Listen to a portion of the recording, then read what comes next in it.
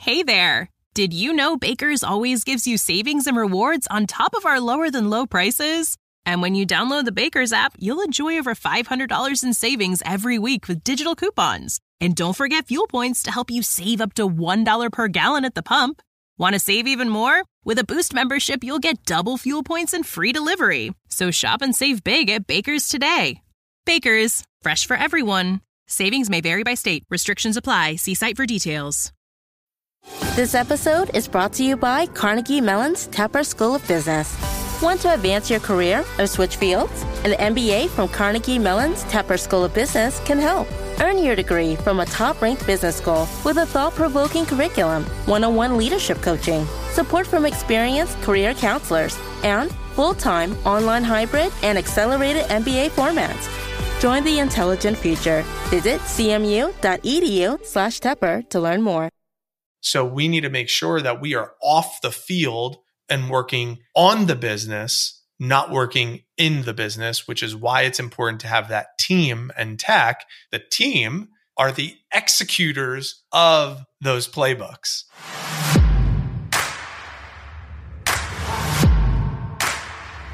Hey there, MU fam. Welcome back to the Millionaire University podcast. Hope you guys are enjoying our two episode per week drop.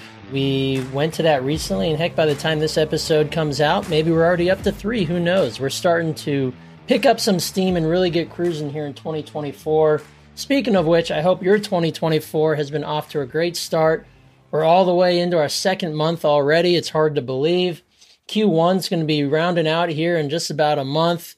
Today's episode is bringing the heat. I brought a good friend of mine, Mike Abramowitz, with me from Better Than Rich. He is sharing his time rich six method with us today. And Mike has a heck of a story, as you'll hear, heck of a businessman across multiple disciplines. But I wanted to have him chat with us about the higher level mindset when it comes to managing our time as entrepreneurs and business owners. I know this firsthand. I've been an entrepreneur for going on seven years here now. And managing my time is still one of the hardest things to do. And only in the last few years, year or so, have I really started focusing on actually giving a dedicated effort to focusing on my time. Because at the end of the day, we do this. We build our businesses. We become entrepreneurs because I imagine most of us want to find some sort of time freedom. Even the workaholics among us, time freedom needs to be a part of our lives. And we don't want to work for the man. We don't want to be an employee, right? We want to work for ourselves, but we also want to have that time freedom.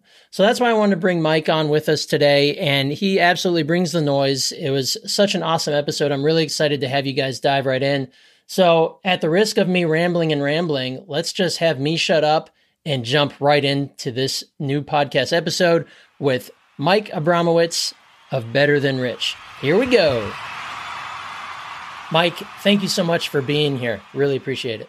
Yeah, thanks for having me, Brian. I'm excited. I'm stoked because we're going to be talking about some really cool high level mindset things today and something that you teach at Better Than Rich. Let me have you give some context and give us your story a little bit so that we can hear it uh, straight from you, Mike. Go for it. The short of it is, I've been in direct sales for quite some time. So I started selling Cutco kitchen knives when I was 18 years old. So I sold Cutco through college, paid my way through school.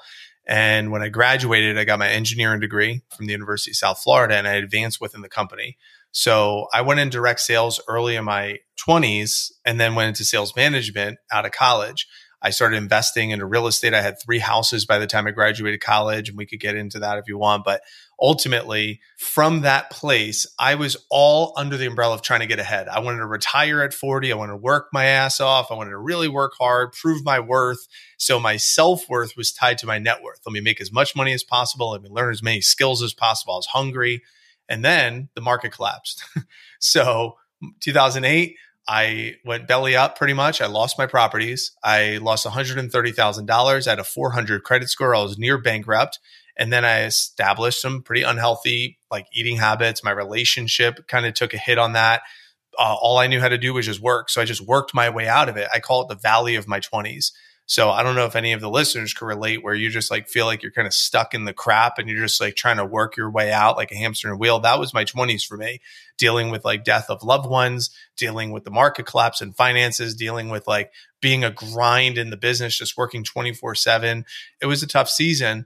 And then uh, circa 2012, I went on uh, to a Tony Robbins event and I walked across fire.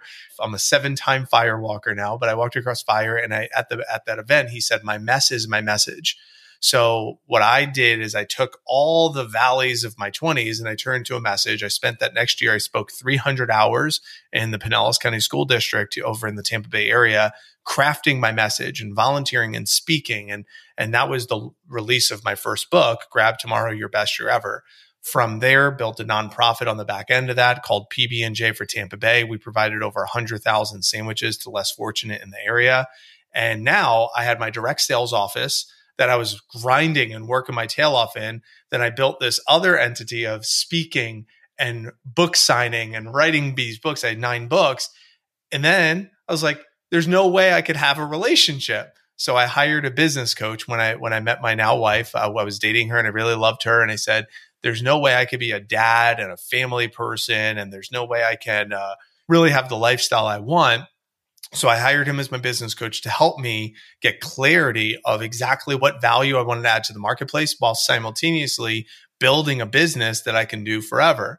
So in my direct sales business, it's almost like taboo to like have offshore virtual assistants and automations and like different um, technologies that we put in place. This is before AI, but it was the closest thing that you can get using some of those things in in direct sales. So I I like McDonaldified my business for 2016, 2017, 18, and then 2020 hit, COVID hit. It was like all systems go, boom and it was awesome. I mean, we ended up providing over a thousand jobs that year. We did over two and a half million dollars in sales. We broke a lot of records. Uh, we won five national titles during the course of those two years, and uh, I mean, we were we absolutely crushed it. The big test happened though, Brian, when my son was born New Year's Eve. That was uh, December thirty first of twenty twenty he was born at one pound four ounces. So we were uh, he was born at 26 weeks, and we were in the hospital with him for eight and a half months. So due to all of the effort and energy of building out these systems in my business, I was able to be in the hospital with him and my wife for those eight and a half months, 254 days, and my business still was able to run without me. Produced over six figures in profits.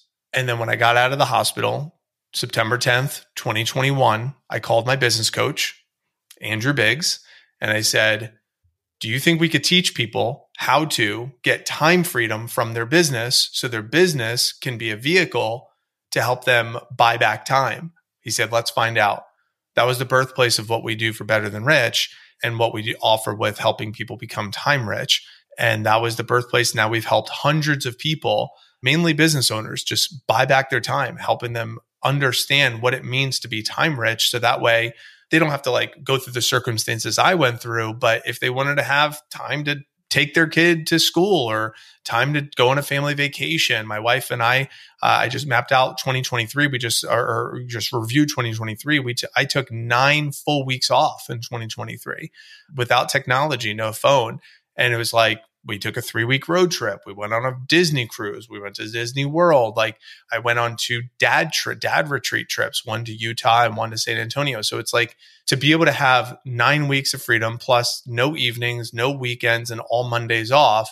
I've built boundaries in my life that allows me to not only make good money, I saved over six figures last year, but also have the time freedom that goes behind it while helping other people do the same. So that's a very long. I say I'll tell you the short version, but that's the long version of my story uh, on how I got to you know this conversation. It's such an awesome story, man, and congratulations on on all those successes and the fact that you're able to build that business to where you could be with your son and your wife in the hospital, taking care of you know a medical emergency that you didn't see coming, right? Like to have the freedom to be able to do that and not worry about is the next paycheck coming? How are we going to keep the house? How are we going to do all these things? Um, it's a testament to your ability to put those things together on the back end so they can stand strong when you aren't there to run them on the day to day. And the fact that you get that you took nine weeks last year, very cool.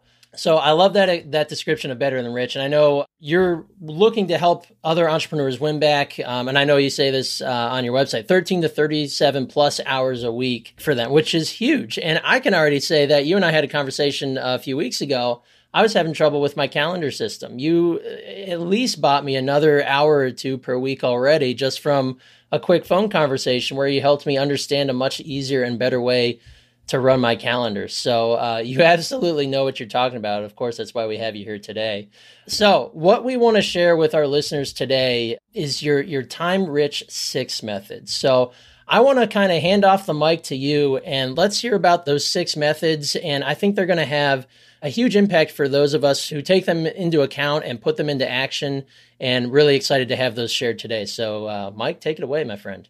Time rich six. So the six, we could call them keys, you call them principles, whatever you like, under the umbrella of becoming time rich. First one is boundaries. Second one is communication guidelines. The third one is systems. Number four is playbooks. Number five is team. And number six is tech.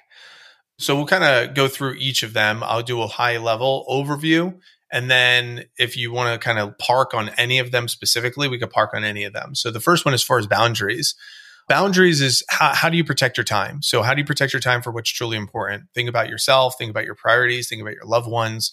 As entrepreneurs specifically, but really anyone, we can get into reaction mode very easily and respond to the urgent demands of different tasks that come our way. So if we don't have boundaries in place, then we could settle into reaction mode or we could just numb it all out and settle into distraction mode. And distraction, you, you know, I don't know if you've ever been there where you're just kind of scrolling aimlessly and for, you know, forgetting what, what was so important, you know, and why you're doing what you're doing.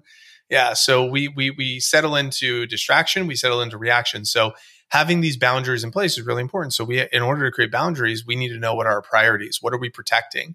So, what are we building our boundaries around? For me, I build boundaries around my mornings, my evenings, my weekends, and having one personal day in my schedule. And I built a ramp to get there. So, the boundaries that I wanted to have is I wanted to have one day fully where I can have options to do whatever it is I wanted to do, whether it's strategy for business or just take a time for personal time, uh, get a massage, go to the gym, whatever I needed to do for that day. I need, Mike's, Mike needs a day. I also wanted to create a day where my wife has the exact same opportunity. Uh, so we we just had our second uh, newborn, so it's a little bit different now because my newborn, when we're recording this, is eight weeks old. So uh, a little different now. But what we have created for Lindsay is having her have a personal day where she has a, uh, where I was with our son James as he got off the ventilator and got his trach out, and you know he's thriving now. So he's three for the last you know, several, maybe about a year now, I did daddy dates on Saturday. So that way I took James and I was able to hang out with him. And then my wife was able to have her personal day. So I created boundaries there. Sunday was family day where we would do something fun, go to the zoo, go to a theme park, go find live music, go to farmers markets, whatever we wanted to do, free day on Sunday. Mornings are for Mike. Mornings are where I would protect my time. If I want to go to the gym, go to the gym. If I want to read, I want to read. I want to journal, I want to journal. I want to reflect, go for a walk, whatever. First calls at nine. So no one can hop on my calendar before nine. So nine to four, sometimes nine to five, depending on the season, Tuesday, Wednesday, Thursday, and then nine to three on Friday. Evenings, I was able to protect after the four o'clock from like four until five. Let me decompress my day, clear out whatever I need to clear out on uh, just projects and tasks. And then I would go into the family, put the phone up. I don't need the phone anymore. No technology for the evening. So that way I could be present that was what I created for myself. And from there, there's versions of it depending on what season, depending on vacations and travel. But I knew I wanted to create that schedule. So a lot of what I was doing, my business being a vehicle, I wanted to set up my vehicle called my business that allows me to drive in a direction that allows this these boundaries to exist. So that's why it's important for a listener to figure out what are you protecting your time for? What is most important to you? If someone looks at my schedule, they'll say, What's most important to you? Well, I have family is obviously most important, and myself being able to fill my cup is most important, and having intentional conversations with people. If you look at my daily activities from nine to four, it's very intentional with what I'm doing and who I'm speaking with. It's a lot of me interacting with live, real time humans and creating partnerships and doing high level work sales conversations, prospecting, partnerships, guesting on podcasts, these types of things that add a lot of value to me, but also add a lot of value to the marketplace. So that's number one boundaries. And for me personally, too, that's one of the hardest things to A, develop and B, stick to. just in the last few months here, uh, really since I was chatting with you more closely, Mike, was really developing my boundaries, putting them down on paper, and then actually sticking to them. So, for example, for the last two weeks, I've been journaling uh, in the morning and in the evening. And it's just one of those things where I'm like, I'm going to do it, I'm going to stick to it, and I can't quit it. And now I'm starting to get in that habit. I'm still within that 30 day window of once you do something for 30 days, it's much easier to keep it as a habit as opposed to dropping it. And then also with boundaries, like my, my goal is to, and sometimes it's, it's much harder, easier said than done to end my day when I say I will. But I'm trying to get better at once uh, 4:30 rolls around, unless I'm picking up my kids at daycare at 4:20. Those are three days a week. But its phone goes up on top of the fridge where I can't see it. So that way, like you said, being present with the family and dedicating that time to it because it is so easy to have work creep or friends too. Like, you know, you have friends texting, if you're in group chats or family chats or something, it's so easy to be distracted and to, you know, it, it bothers me that my kids have seen me on my phone, right? Like way more than I want them to. So I think boundaries is absolutely huge. Um, and I, I'm sure that's why it's number one on your list. It is number one for that reason because you got to figure out what the priorities are before you can start playing the game. You got to figure out what is out of bounds before you can start playing the game. What are the rules of the game? You know, you could call life a game. You could call business a game. That's really what it is. It makes it a lot more playful when it is when it's a game. So, what are the rules of the game? What is out of bounds? Let's start there it pairs really well with number two, which is the communication guidelines, which is how do I want people to communicate with me? What is the way people get my attention? So you want to think about what is the strategy for managing these constant streams of demand that come to you, whether it's calls or messages or emails. So how do you establish rules of engagement that safeguard your, your personal time, your family time, but also your professional time? Uh, I'll give you an example. I just recently had a prospect. She's a really good prospect, and uh, she just signed up for one of our, our mini course that we we have online, like real low ticket offer, and it's a really high value course. She's getting she gets content, uh, five hours of content on how to implement a CRM into her business, how to properly delegate, build a flow chart for her business, how to build an org chart for her business, how to use AI and ChatGPT for business. I mean, it's really, really fantastic content. And one of the also things that we give is a free complimentary coaching call. She also gets a 125 page workbook. I mean, it's a, it's a, it's a really large value add for 29 bucks. Well, she has now rescheduled. She's booked that coaching call and rescheduled. This is her fifth time I didn't even notice because I don't manage my calendar, but every, you know, I, I started seeing the trends and I reached out to my virtual assistant and I said, Hey, this isn't okay. Do we have like guidelines for this for people to hop on my calendar? Uh, could they just reschedule all the time? And he's like, Good question. We really don't. This is a perfect example of what happens if there's not some sort of guidelines in place and because of this, now I'm going to put a guideline in place for this specific link where you could only reschedule one time. On the third time, the link will, you'll remove access for the link. We'll just cancel the event if it pops up on our calendar. You only get two reschedules. That's an example of a communication guideline. So that way people don't constantly hop on the schedule and like take up somebody else's time and then reschedule. And then I'm left with a gap in my schedule. I don't like gaps in my schedule, no white space unless it's intentional white space. So that's an example. So you might think about for you, what are the examples of people trying to get your attention or if they're interrupting your flow by doing what it, what this woman has, has done with me. So in the past for me, I was, and especially in direct sales, I had a thousand clients that bought Cutco from me. I also recruited a ton of students. I mean, 5,000 people is how many I've recruited during my career in direct sales. So I was having the current sales team have my personal cell phone number. I had the prospects, the referrals to work with us, those that wanted to work with us had my personal cell phone number. And then all my clients had my personal cell phone number. So, how many calls do you think I would get on a daily basis? A little too many tons of calls. So because there wasn't any guidelines, there was no parameters, anybody can get my attention just because they had my phone number. You could just hear that and say, huh, well, we should probably create some sort of system, some sort of guidelines, some sort of parameters on how people could get Mike's attention. And that's exactly what I did. So using simple tools like Calendly. So right now I have probably 25 different events on Calendly. If it's a friend, they get a catch up link. If it's someone who wants to book a call for uh, learning about our, our virtual assistant services, we have a free 90 day delegation plan that we'll put in place. By the way, that's that's available for anybody that's listening too. I will do a free 90 day delegation plan with anybody who is interested in getting some things offloaded or picking apart some of the stuff that we're talking about.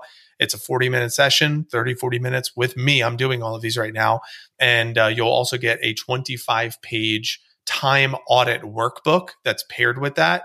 It is an immense value add. You could go to betterthanrich.com slash 90 day call, 90 day call. And that's pretty much what, what you and I did on that call, Brian. We just map out how do we create some time freedom? And a lot of times it's going to be to from delegating certain tasks off your plate. But so uh, that's that's just a, a, free offer, a gift to anybody who wants to take me up on it. I'd love to have that conversation. But that's a specific link. If somebody wants to be a guest on my podcast, that's a link. If someone wants to book me on their show, I have a link for them to see my schedule. So there's just all these different links for different events. If someone calls me and I'm not available, like I don't know who it is or I, they're not on my schedule, my policy is I respond with a text message that says, "Hey, what can I help you with? Uh, you know, is there something you need?" I don't answer the phone. I just send them a text message. And they're like, oh, I needed to ask you about blank blank. It's like, great. Can you send me an email to this email? And then my VA will handle the email when we get to team. That will probably make more sense. But these are just some examples as far as communication guidelines. I don't know if there's any, again, specific questions or. It's kind of like digital triage, right? You've got all these different inputs coming in from various locations and just like if, you know, at a hospital, for lack of a better example, you know, you've got a triage who's coming in. What do they need? What priority is it? And your example of you don't answer phone calls from numbers you don't recognize. You send them a text saying basically, who are you and what do you need? And then from there, you have them email where you, you dump them into your system so that they can get the proper help that they need. Or you can filter it out and be like, either this isn't for us or this is or whatever and your team can help decipher it from there. So that's also a huge part of the game as well those communication guidelines. So i think that's fantastic. And one thing that i use a lot is voice memo too because if i do know who it is like i do know that they're trying to get my attention but i don't have the capacity or the energy or the time to dedicate real time to them right now just hit them with a voice memo. I learned recently, probably within the last year, that I could voice memo from my iPhone to an Android by just going into the voice memo app on my phone, recording an, a voice memo, and then changing the name to their name. So I would say voice memo for, you know, Brian as an example, and then I'll just forward that voice memo to them so I could still have, but it's on my time. So the, the idea here is I don't want to ever give permission to someone that they can get my attention live, real time. Anytime somebody wants my attention, it is on my time, not real time. And that might sound like crazy, but that is what I wanted. When I built those boundaries, that's what I wanted. And it took a time. It wasn't like snap my fingers and it happened. It was a ramp over the course of, uh, I don't know, probably 18 months to train people in my life to enforce these boundaries and to make sure that these guidelines were put in place. Love it. I think that's fantastic. Hit us with number three. What do you got? So number three is systems. Okay. Now systems is the probably the meatiest of the topic. So I'm not going to go into so much detail here because I don't know if every listener runs a business or not. But if someone does run a business, this is really where it makes sense. And a system is really the question there is how do you ensure that your business operates on a structured system that delivers predictable outcomes instead of leaving things to improv? Because too many business owners are like, uh, let's just find out let's just see what happens or you know they enter into reaction mode because there's not predictability in place so the way we define a system in better than rich is a series of processes policies and technologies that aid in the goal of the business. So, what is a process? A process is a series of if then statements. If this happens, then I want this to happen. So, it's very predictable, it's premeditated. You could think of it as like a flow chart. That is the base level of building a business system. So, if a prospect has a question, then I want them to go to our frequently asked questions library before they call me. If they went to our frequently asked questions library and it still didn't answer their question, then they can use this link to book a call to get on our calendar, right? Like, so it's like a flow chart of series of if thens as an example. And you do that for every department in the business for attracting like lead gen, for conversion like sales, for onboarding, and then for retention. And that's for talent and also for clients. So you do that for every part of the journey. So it's processes. And then the policy is kind of like number four, which is the playbooks, but it's what is the written documentation that enforces those processes? What is the written documentation? That's really the policy, also known as the playbook. How are people equipped with a like a comprehensive resource that navigates them to understand those if thens. That's like the policies. And then the technology really is technology or team, which is what are the tools or who's that we're going to be using to reinforce these policies, these playbooks, and also making sure that those if thens are, are getting implemented. Again, this is a very short, quick overview of those four. I'm going to almost like prefer to kick it to you to draw out of me what you feel is most relevant to your audience. But the systems is like the foundation.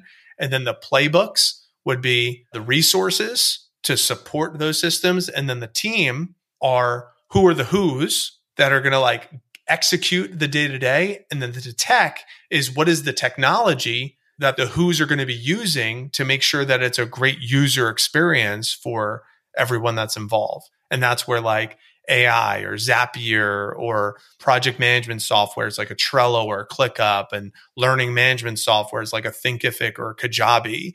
Calendly, I already mentioned like a, or Acuity, like a scheduling software, like all those technologies kind of support those who's, the team, the virtual assistants, whoever it might be. So again, lots of different directions we can go. I'll kick it to you to kind of help me unpack whatever you feel is most relevant to your listener. Yeah, absolutely. So, I mean, systems are, in my experience, that's one of the harder things to build when you are just starting out. I know a lot of our listeners are just starting out, or maybe you're about to, and uh, many of you already have. Maybe you're one or two years or more into your business. But, and Mike, correct me if I'm wrong, but it can take a while to figure out what your best systems are because throughout the life of a young business, there is a lot of adapting and pivoting that goes on. So, is it accurate to say that these systems, you can create one on, on day one, but you have to be able to pivot and change your systems a little bit when needed on day 400? I would say there's a yes and. So we we have uh, something called the 5 Ds of systemization that we teach in Better Than Rich. So the 5 Ds of systemization, the first D is design. So yes, does it take a little bit of time to design something? Sure. However, every single business owner, every single person that is doing a task, that already has some sort of design to it. Like you might not have it documented, which is the second D, right? So you design, but then you need to document what this design is, right? So the documentation of the design, that's the part that people don't document their design. But then the third D is dissemination, which is training. How do you train someone on this design? And that might even be you. That might be your virtual assistant. See, Dan Martell in his book, Buy Back Your Time, calls it the camcorder method. Too many times a new business might say, I'm just doing the task to get the task done. What Dan Martell and what I teach is do the task with the anticipation that I only do it once. And the next time it's documented so somebody else can do it for me as me, just not by me. So I do the task with the hallucination that it's going to be delegated in the future. That's why for me, I record 95% of anything that I do. I click record on Loom, which is one of those technologies. So it's capturing what I'm doing. So then if I need to turn it into an SOP or a playbook or need somebody else to do it, they can do it the second time or the third time. The disillusionment that I've had in the past is I only need to do this one time. So I'm just going to do it real quick to get it done until the next time happens. I'm like, shit, I got to do this thing again. So enough of those conversations with myself have led to that. So dissemination is the training. And then uh, number uh, three is defend. Defend is the um, policing of it. Like, let's see if it actually works. Let's make sure that it's effective. It's getting implemented. Let's make sure there's accountability in place that those that I trained are actually qualified to put this into place. It's getting done the right way. So the defend is almost like an accountability part of it. The fifth D, that's where we want to reevaluate to see if we need to adjust the system. Is this system outdated? That's like the process that we walk through when doing any type of task. So you are already probably doing a version of this as someone new to business. It's just not as formulaic. It's vitally important to be able to design these, but I think the biggest thing, and it took me, it might sound really simple and I might just be an idiot, but the actual documentation of the thing. When I when I started bringing on uh, folks to work with me, um, had a VA and currently with an ops manager, uh, a big thing about what we're doing is documenting everything we do. So, like Mike said, using Loom, but the documentation is huge because if you're bringing on teammates, if your goal is to take your business and grow it, have multiple people, and maybe the the sky's the limit for you, then documenting these things are going to be vitally important because, like Mike said if you keep having to repeat this dang thing or with every new hire new va you bring on new you know manager you bring on if you have to show them exactly how to do it again now you're abusing your time because that's time that you're not spent doing the higher level tasks of growing your business or whatever the tasks are that day. You're now violating your own time. So i think of those documentation is uh, the big one to really put some emphasis on. So playbooks we mentioned that playbooks are the resources. So give us a little bit of an in-depth look at playbooks. What does this mean in terms of the resources for your business? So you might call playbooks uh, SOPs or standard operating procedures. I like Dan Martell's language where he calls them playbooks. It just uh, it feels real nice with our our community and my just language that I use.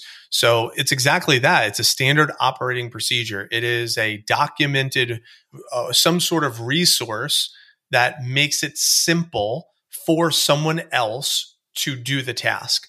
So you think about like a checklist as an example. If I'm a pilot, I review my checklist before I take off my pl- uh, on the plane. That would be a playbook. If you're in sports, that one's pretty easy. There are different plays for different situations. Every situation has its different play. If it's fourth and long and you're down by a touchdown, you got the, the Hail Mary play. There's a design for that play. If you're on the goal line, there is a play. Same thing in business. Every part of the business deserves its own play, such as how is my inbox managed on my email? How is my inbox managed on my social media? How do I get content published onto my social media? How do I handle inquiries from prospects? These are all different plays. How do I respond to someone who's interested in our services? How do I respond to pre existing clients who have questions about their next payment? There's so many plays that you can come up with.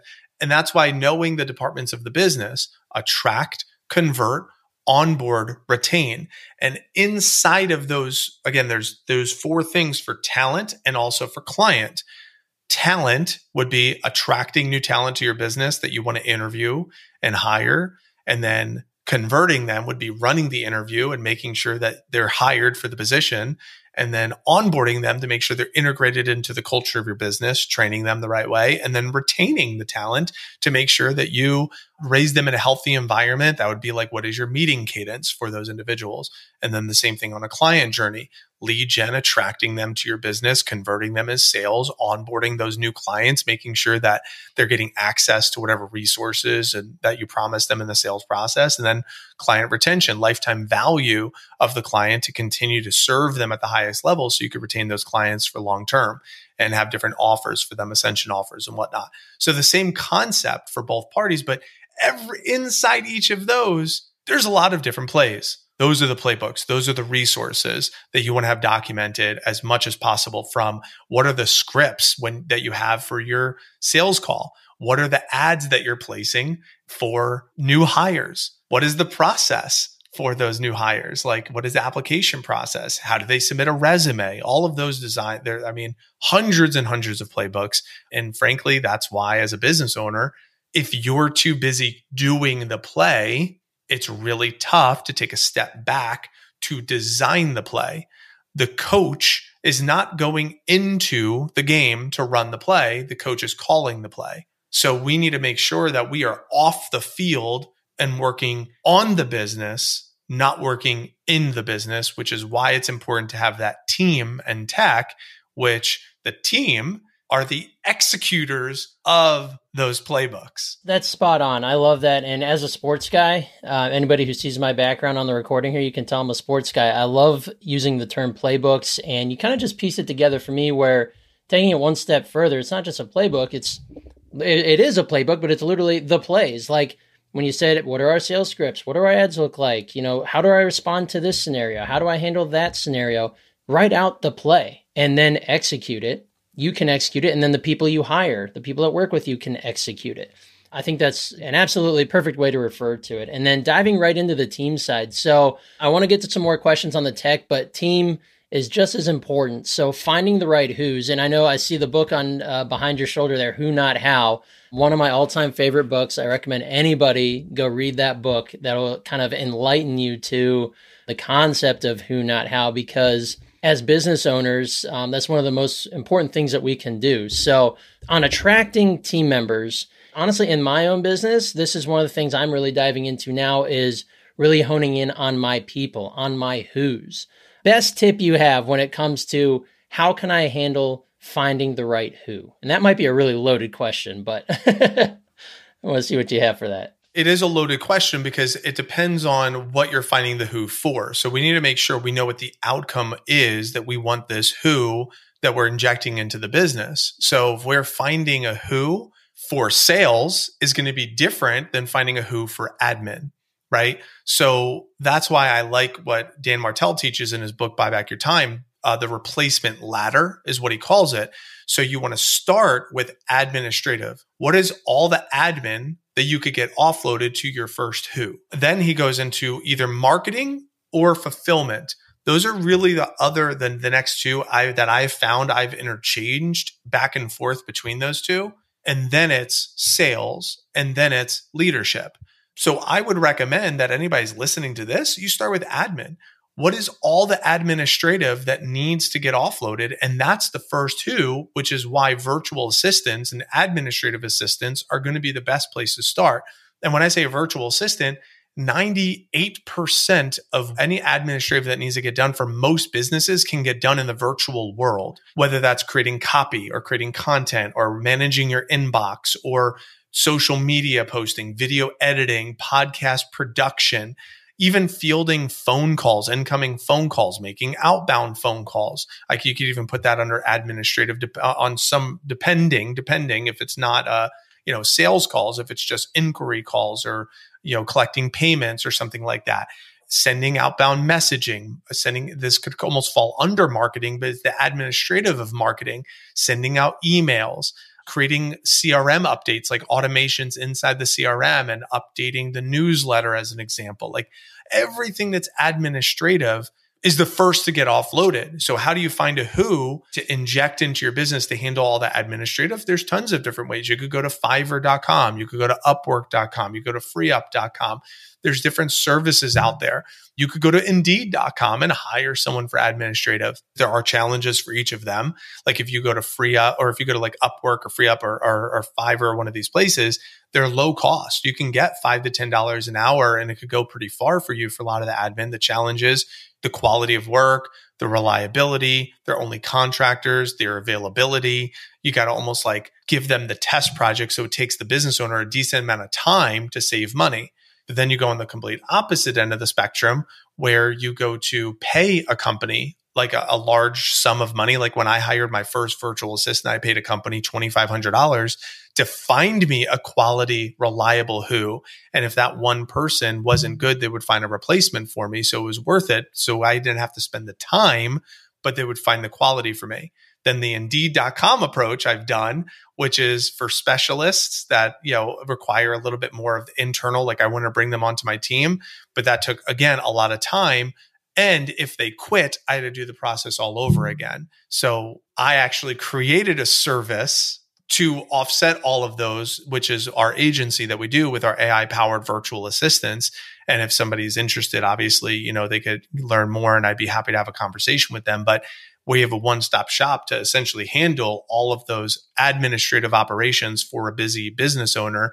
And that way they just use our services and we'll provide them a team that can handle all this stuff for them. But ultimately, there are different ways to find these who's but I would start with administrative because that's going to be the low value tasks that consume a lot of attention and distraction energy for a business owner. That's where I would start. And then once someone has that person in place to answer the question on the table, which is how do you find the right who? Well, then you would go into marketing, then you would go into fulfillment. And again, you go through what is the model that I just said. You could go low cost, lots of time, or you could go high cost, minimal time. It just depends on the strategy and and uh, also the the season that you're in in business. I love it. I think that's perfect. Probably starting to get in the boat close to harbor here, so I want to talk about the tech side of this. We could probably have our own episode about this, but how do you not get buried or just intimidated by all the choices for tech out there? I started using a CRM, uh, a different CRM a few months ago, and I, I enjoy it. I like it. It's a good one. I use Monday.com. But then you get out on LinkedIn and you see everyone talking about Notion or, you know, HubSpot or whatever the other options are out there. How do you not get buried under all the millions of options we have for tech for different portions of your business? Again, different chapters, different seasons. I mean, I've done the same thing. I started with MailChimp, then navigated Active Campaign, and now we're on Go High Level. So I, I'm with you. There is like a graduation process. And as the business evolves, sometimes we need the technology to evolve with the business, which is fine. How do you pick a lane and stay in the lane? Well, think about it this way. If you are dating someone, you say, okay, I'm just dating you. You know, I could date other people while I'm dating you. That's okay. I could test out these other apps. But once I commit to you and you are now my spouse, I'm married to you, I'm no longer looking at all the other options that are in the marketplace because I've already made my commitment and I made my decision. Everything else is a distraction from the main thing. Because if your person that you're with, that you committed to, notices that you are looking at all these other places, what is that going to make them feel like? They're going to feel insignificant. They're not going to feel like you're you're you're taking care of them keeping that in mind with a tech solution is kind of a similar way I would approach it. Once you commit, just commit and make it work. And if you need to get a divorce from the technology that you made a commitment to, just make sure you have valid reason. It's not just because that's a nice, beautiful, shiny object and they're really attractive. There's an actual valid reason on why this marriage isn't working and why I need to make sure I'm moving to this other tech solution. So that would be my analogy I'm coming up with on the fly, which I really like. And uh, I think that could be a really good answer there.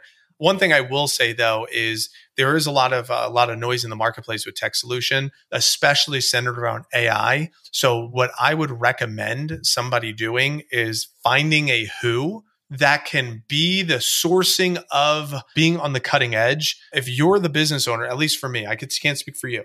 For me, it's a distraction to try to be in the know of all the new changes that are happening in technology. I don't need to know all the new fancy bells and whistles. I have someone on my team that that's their job. Their job is to be on the cutting edge of all the AI and technology advances and stuff. That's not my job. That is a distraction for me from focusing on the main thing. So I think it's important for you to know what is your role in the company and who is a who that you want to put in charge of learning about those tech solutions would be my suggestion.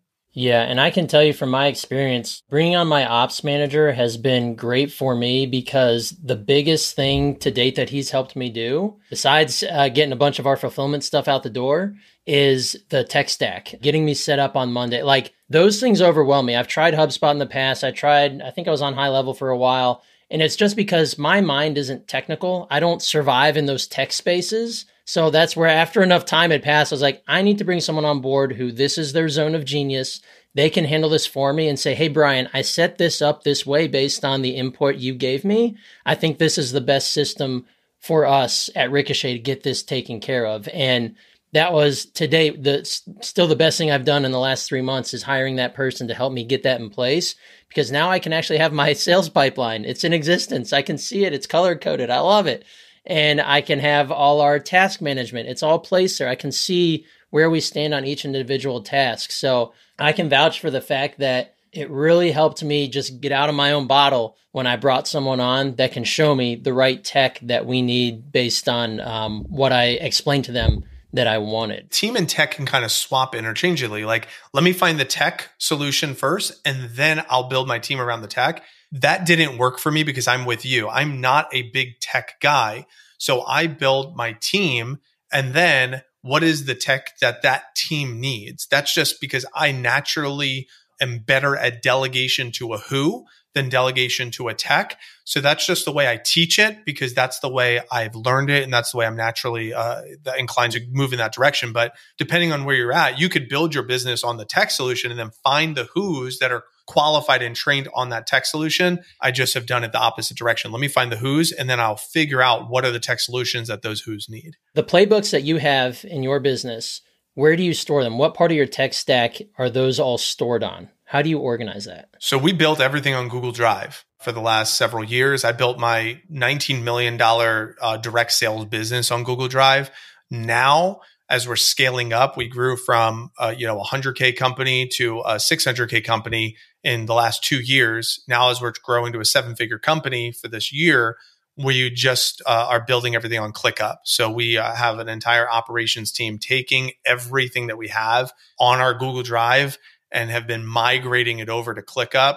And it is thousands of dollar type of tech solution, but to be able to scale up, that's what we're doing. But I, I could tell you, we built a multi six figure company, several multi six figure companies on the back end of a free Google Drive. So, and selfishly, that was a question for myself because I wanted validation that me using Google Drive as heavily as heavily as I do is the right move.